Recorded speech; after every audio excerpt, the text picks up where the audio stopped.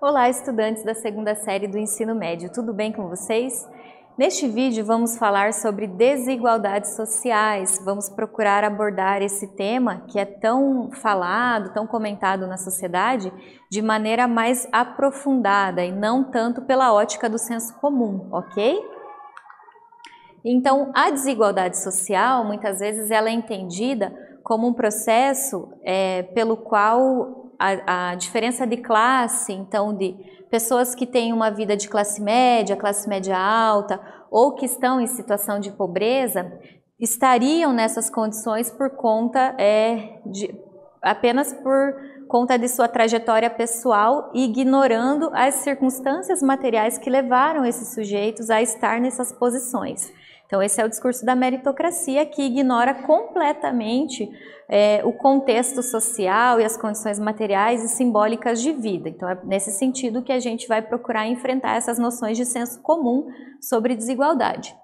Então, o que é desigualdade? Ela vai ocorrer quando a sociedade não conta com uma distribuição igualitária de renda, principalmente. Em muitos países, apenas uma mínima parcela da população concentra grande parte da renda, enquanto a menor parte é distribuída entre a maior parte da população, que seria o caso do nosso país. país capitalista, é, que vem de um processo de colonização longo, com longos anos é, de sistema escravocrata e que produziu as suas desigualdades sociais, sejam elas de renda, é, desigualdades raciais e também desigualdades de gênero que são bastante aprofundadas e preocupantes no nosso país. Então aqui a gente tem algumas, é, alguns problemas que são gerados por desigualdades sociais. Pobreza e miséria, fome, desnutrição, mortalidade infantil, evasão escolar, marginalização de grupos sociais, então, essa categorização de pessoas, eh, essa classificação com base em estereótipos negativos das pessoas, aqui tem uma foto de uma periferia, muitas vezes os moradores de periferia são categorizados, é, são estigmatizados, né, com base nesses estereótipos preconceituosos. O aumento de moradores em situação de rua e também o aumento de índices de violência e criminalidade. Então, toda a sociedade que tem altos níveis de desigualdade social, é muito provável também que tenha altos índices de corrupção, então a gente percebe que é, não há uma atenção para os direitos sociais básicos e por isso essas desigualdades elas se intensificam. E também nós temos o caráter é, desses tipos de crime, da violência. Então, são sociedades também, como no nosso país, que quando se fala em violência e criminalidade, vem à cabeça das pessoas essa noção de senso comum que crimes seriam apenas esses tipos é, tráfico, roubo, enfim, esses crimes cometidos majoritariamente pelas classes populares.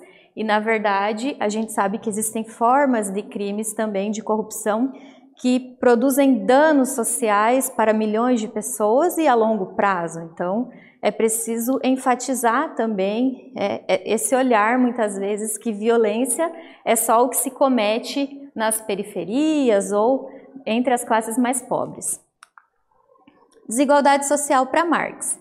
Ela é manifestada, então, a partir de desequilíbrios entre burguesia e trabalhadores, aqui a sociologia clássica, e a burguesia, sendo detentora dos meios de produção, controla e retém a maior parte dos lucros sobre, sobre bens produzidos a partir do trabalho. Então, é o que a gente conhece como a teoria da mais-valia, né, da burguesia que lucra na medida em que explora os trabalhadores, a mão de obra do trabalhador.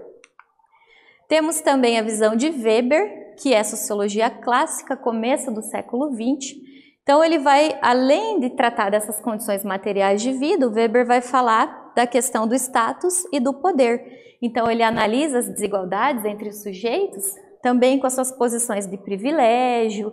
Então, ele trabalha um pouco de forma mais focado nessas questões culturais, não, não só focado nas questões materiais, ok? Então, temos tipos de desigualdades diversas, econômicas, étnico-raciais, as de gênero, como comentamos, e muitas vezes essas desigualdades se somam na vida dos sujeitos.